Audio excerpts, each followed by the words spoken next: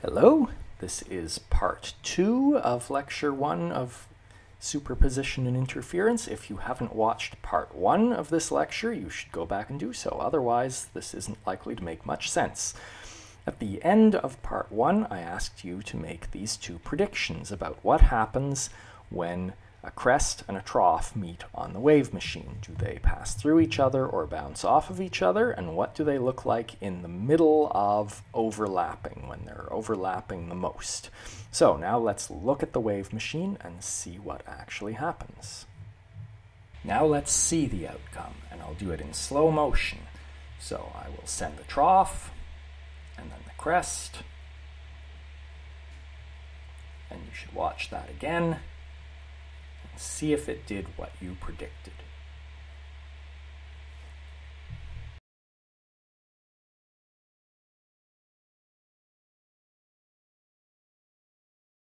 Again, let's focus in on the moment of the two waves meeting and look frame by frame. So here is the crest going to the right and the trough going to the left, and we'll watch them frame by frame as they pass by each other and watch what happens. The maximum moment of overlap is about there. And of course, these waves were not perfectly the same shape except inverted because I did this with my hands.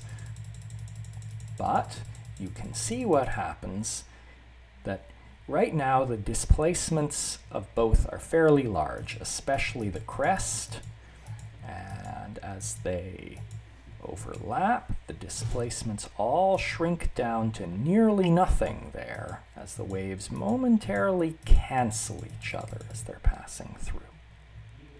What we have just seen on the wave machine is what is called the principle of superposition. So first of all, when waves meet, they pass right through each other. But as they're passing through, they add together so that the total displacement of the medium can be found from the individual displacements of the two waves that are meeting. So if we have two waves like so, and so we'll say displacement 1 is this wave, displacement 2 is this wave, and I've drawn them both at time t when they're overlapping. I've drawn them on separate graphs, but in fact they would be overlapping each other here and you wouldn't see either to find the total displacement of the medium at this moment, you simply add the displacements together. Now note, if you're calling up positive, then these are negative, and so effectively this is going to get subtracted from that.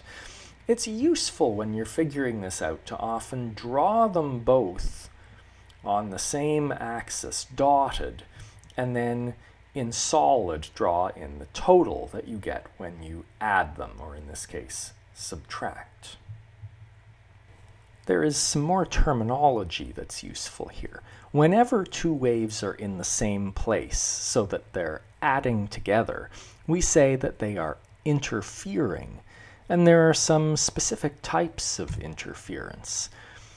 When the amplitude of the resulting wave is larger than the amplitude of either of the waves that are overlapping, we call that constructive interference. So that happens when the displacements due to both waves are in the same direction. So here are a bunch of different examples of constructive interference, where the displacements are adding together, note these are both negative, and so we get a larger negative wave, but that's still constructive. You're getting a larger result than either of the individual waves. In the special case that the two waves are identical, so that they add together to momentarily give a wave twice the size, we call that perfectly constructive interference. Destructive interference is the opposite, when the amplitude of the resulting wave is smaller. Technically, it's when it's smaller than the larger contributing wave. So this is when you have some subtraction going on, like the crest meeting the trough, or any of these examples. This one's a bit mixed. There's a little bit of constructive interference going on in the middle of it here, but the rest of it is destructive. And again, when the two waves are exactly the same shape and size but flipped relative to each other so that they add together and end up totally canceling each other, we call that perfectly destructive interference.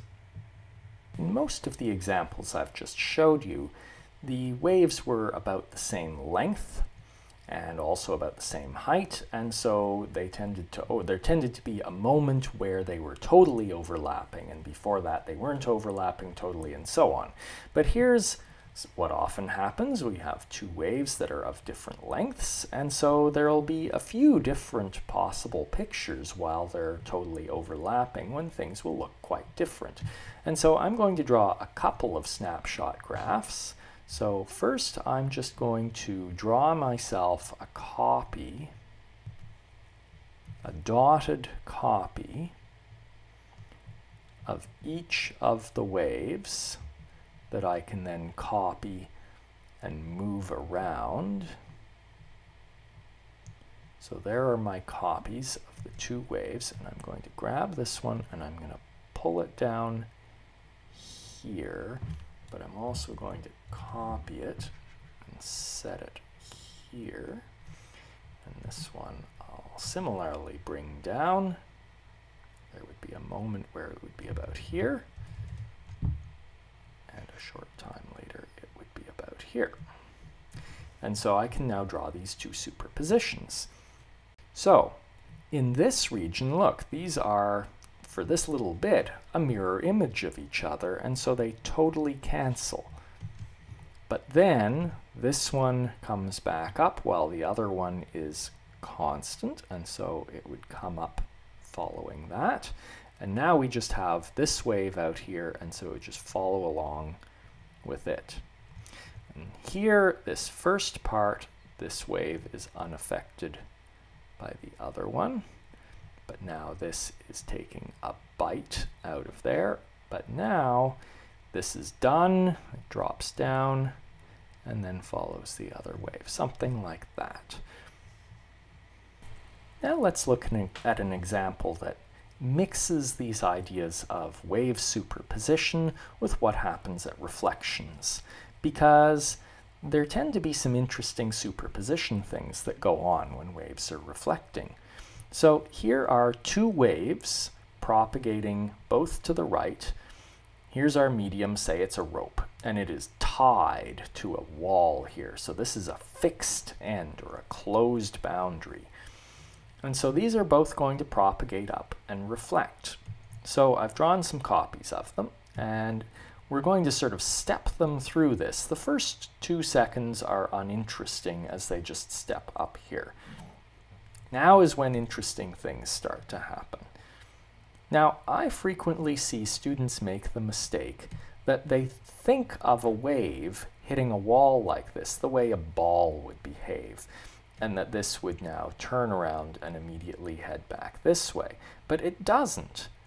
The trailing edge of this wave has no idea that the front edge has hit this wall every individual piece of the wave has to keep propagating until it gets to the boundary.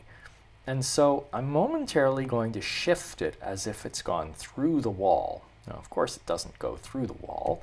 What happens is that this piece that is now indicated as through the wall is going to reflect. And because this is a fixed boundary, it flips as it reflects. Like so.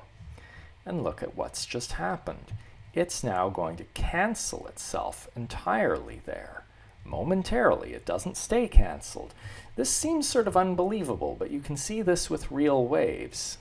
So this other wave here is so far unaffected.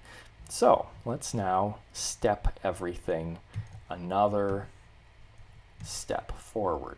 So if this one were able to keep going this way, it would now be through the wall, but instead it's going to be flipped and on its way back. And so now the resulting wave is going to look like, oops, in here there's a In here, there's a partial cancellation going on. So it's something like this. And then this piece is here. And finally, I'll step it all forward one more notch. So now the small wave is just about to hit the wall. The big wave has reflected, and so it is again flipped. Just get rid of this arrow that's decided to come along for the ride. So it is now out here, and all the superposition is done.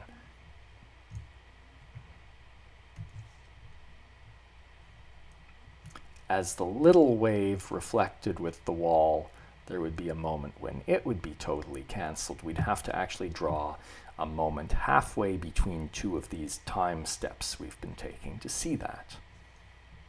All through talking about waves, sinusoidal waves have been important, and so we should stop and think about what happens with sinusoidal waves. So suppose we have two sinusoidal waves, and let's think about the special case where they are traveling in opposite directions and they're otherwise identical, same size, same, same amplitude, same wavelength.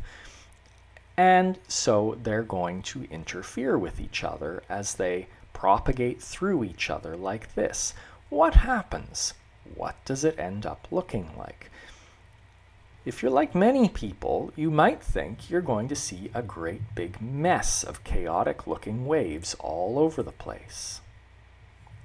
Well, we can test this easily because if we just send sinusoidal waves down the wave machine, they're going to get to the other end and reflect back. And now the reflected ones are going to interfere with the ones that we're sending, and we'll have this situation. So we can see exactly what it looks like using a wave machine. We could also use a rope or a long spring. So here is the wave machine, and here I go sending waves down it, and watch. That is not a chaotic mess, is it? That is surprisingly orderly. But it's also not a wave that seems to be going anywhere. Each piece of the medium just seems to be oscillating. And so, because this is sort of like a wave that's seemingly standing still, we call this a standing wave. So this is what will be the topic of the whole next two lectures.